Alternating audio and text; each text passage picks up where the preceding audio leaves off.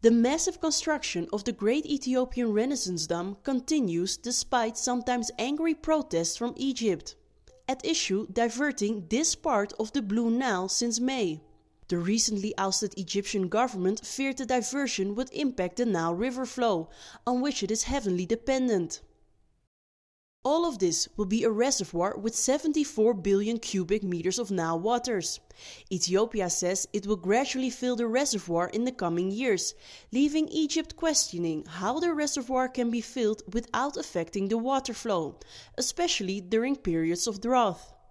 Simegnew Bekele, one of the dam's project managers, says better water management by both Egypt and Ethiopia will be the key.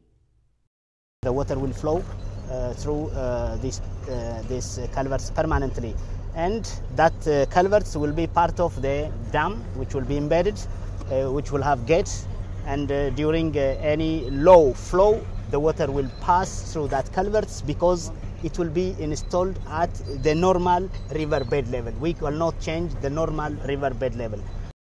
Ethiopia is proceeding with construction even as environmental experts and diplomats continue to work out Nile River resource management among affected countries.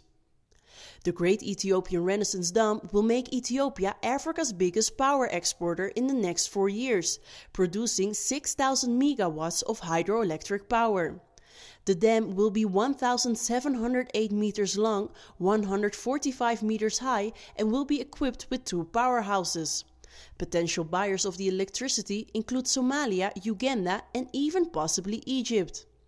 The dam will be completed in 2017 at a cost of close to $5 billion.